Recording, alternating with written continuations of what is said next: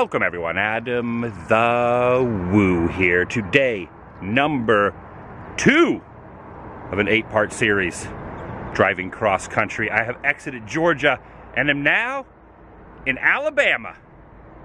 Just taking a look at the nooks, the crannies, the lesser traveled areas. No interstates, no freeways, no major attractions, no theme parks. Just soaking in the ambiance of Americana. I'm standing on some sort of abandoned seating area looking over the water. Let's get moving. I'm inviting you to join me. Shall you? Looking at the road atlas, the lower portions, right around in here, is where I will be focusing my energy, making my way kind of in to this general section and then darting upward northbound just a bit and then later on today end up right about over here.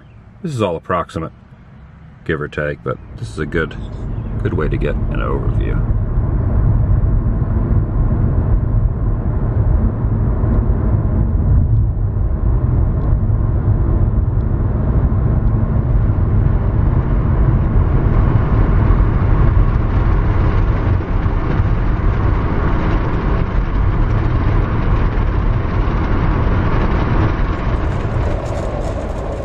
I get too far.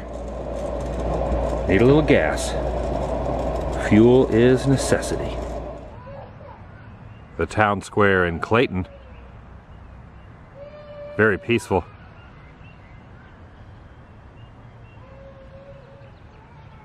There is a small child that's having a bad day, however.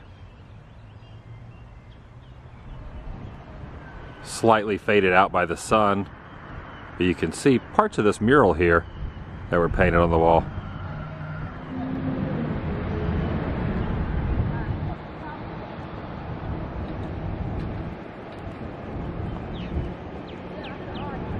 Pretty good gust. Keeping the flags moving properly.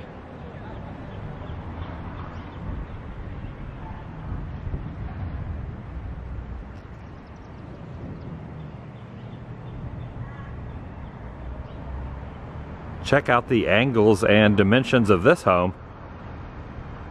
Looking at the placard, appears as if it's referred to as the Octagon House. Built between the years of 1859 and 1861 by Benjamin Franklin Petty, who was a carriage and furniture merchant and a native of New York, came here and settled in Clayton.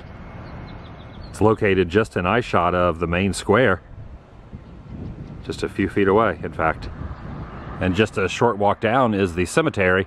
After randomly meeting the mayor at the local newspaper office, she told me of a pretty interesting item in here. A whiskey bottle shaped tombstone. The inscription reads 1863 is when this gentleman passed away. I was told he was an alcoholic and his wife said if he didn't stop drinking, she would do this. That way, even in death, he would be known for his actions. Continued on to Louisville.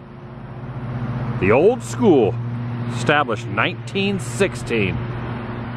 Feel as if it's worth seeing from different angles. It's a very impressive structure.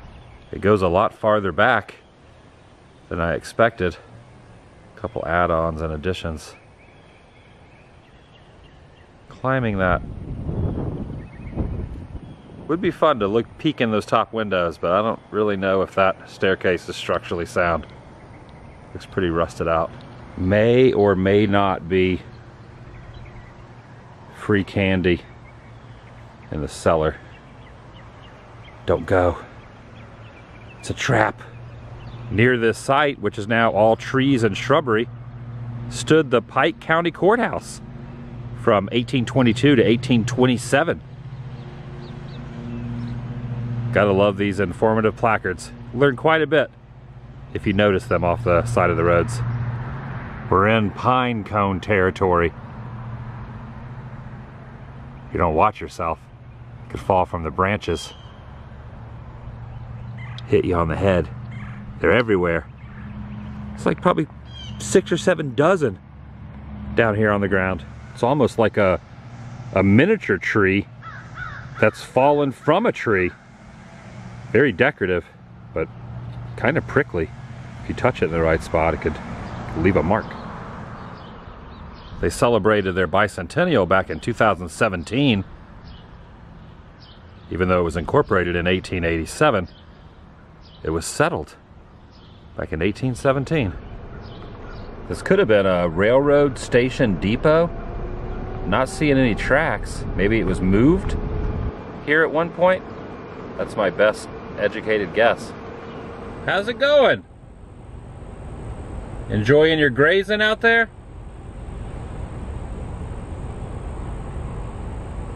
It's a beautiful day for it, especially by a waterway like that.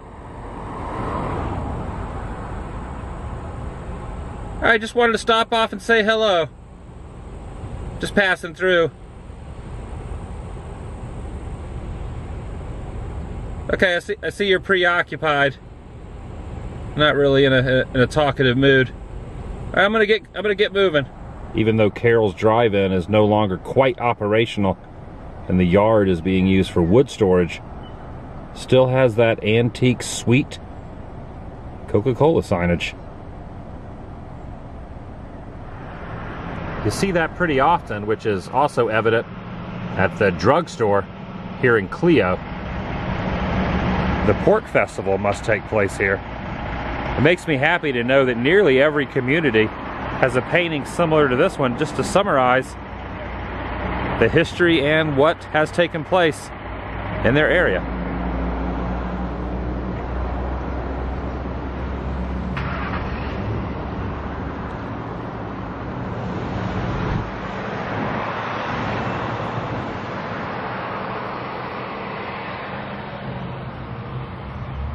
All kinds of classic vehicles, even on the opposite shore. Quite a few over there.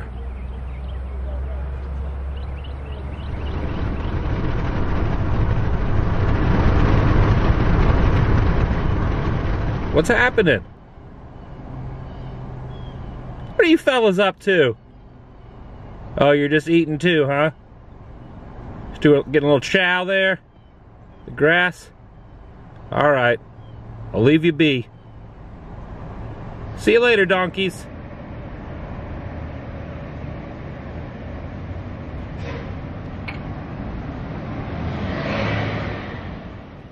Quite a few classic items on this property.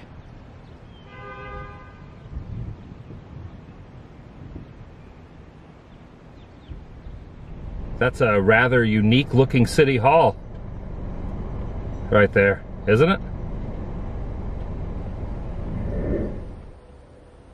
Continued on just a bit. Solitude. Where I currently am. This homestead has seen better days. But the drapes are still in the window. The thing that's fascinating about these places is people shared memories and moments of their life inside them. Sometimes it's easy to forget when you see a broken down structure like this. Starting to get pretty cloudy up there. Some cumulonimbus action formulating.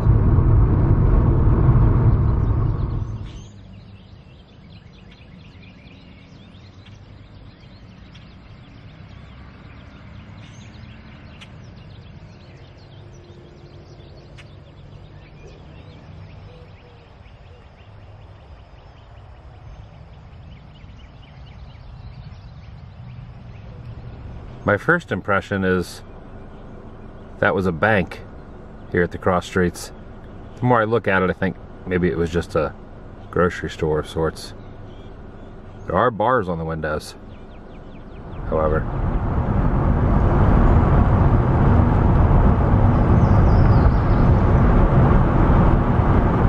Pretty much have all this to myself. Haven't seen another vehicle in long time. Something you don't see every day.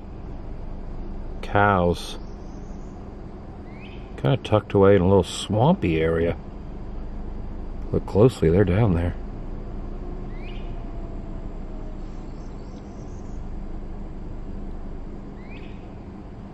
Resembles a swampy area, but no water. Alright, bye cows. Antique fuel pump here in front of this little teeny tiny former station. There's a car over there under that, under that tree. Maybe it ran out of gas because this place was closed.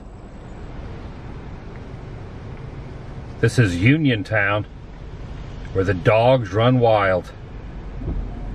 Lots of dogs. Fire truck over there near the woods.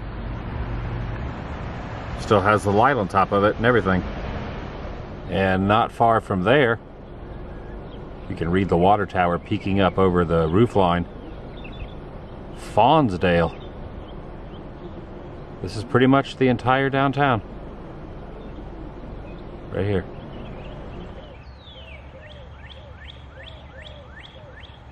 As best I can tell, the fire department isn't even active at this point. Unless they move to another location.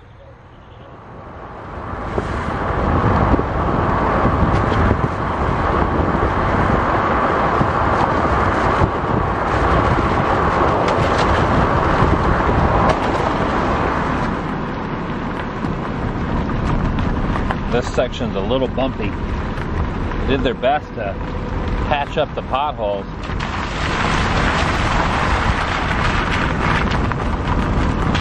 Still, still a rough ride.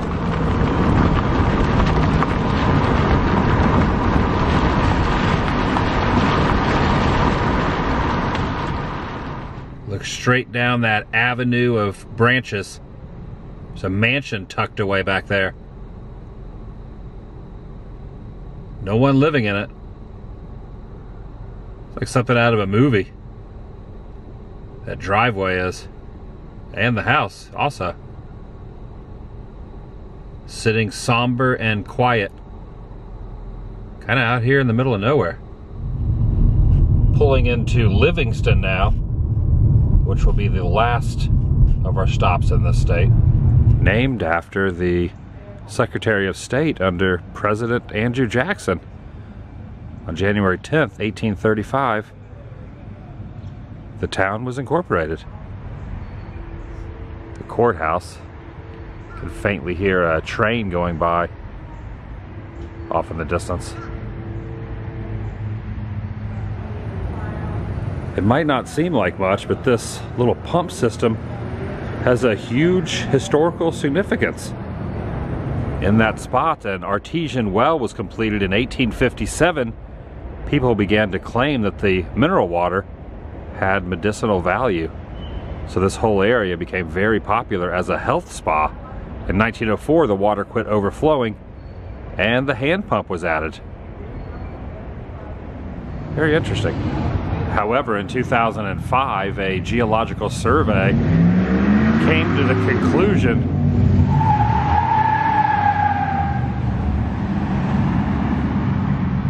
that the water was not fit for consumption. So, yeah, you, are taking a big chance by drinking out of that thing.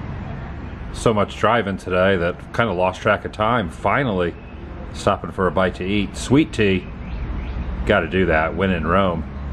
And a little barbecue will be happening. These are my options. Smoking South BBQ is the name of the establishment. Just waiting for my food and then I'm gonna chow down. Is there such thing as too much sauce? I don't like to drench it, but I like to put just a, eh, put enough on there where you can taste it for sure. When it comes to sides, this is what we're dealing with. Beans, mac and cheese, potato salad, oh yeah. You know you're having fun when you forget to eat until it's almost nightfall.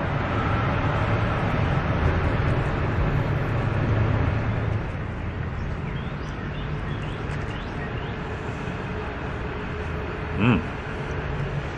That is a rather large mound of fire ants. Should I just... I guess that's fire ants, right? Let me... Oh yeah, check it out. Didn't disturb them too much, but they are active down in there. Gosh, if I had to put my foot deep down in that, there'd be like a hundred thousand of them. Instead, there's only like maybe 20 or 30 there at the top. But they're scurrying around.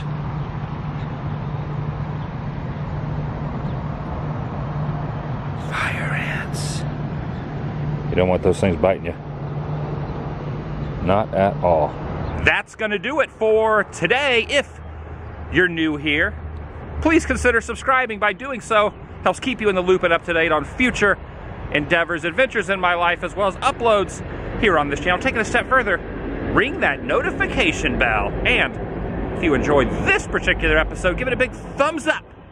It lets me know you care. We are two days in to this cross-country journey, eight states, not counting Florida, not counting the ending point of California, but those eight in the middle, I will be documenting each and every day in a separate vlog. It's quite the challenge, going from state line to state line. Tomorrow, we're to venture into Mississippi. M-I-S-S-I-S-S-I-P-P-I is waiting. Not, not very far from where I'm standing now. It's almost starting to get dark enough. I really don't need these. I'll see you guys in the next video, which means tomorrow, the vlog is over.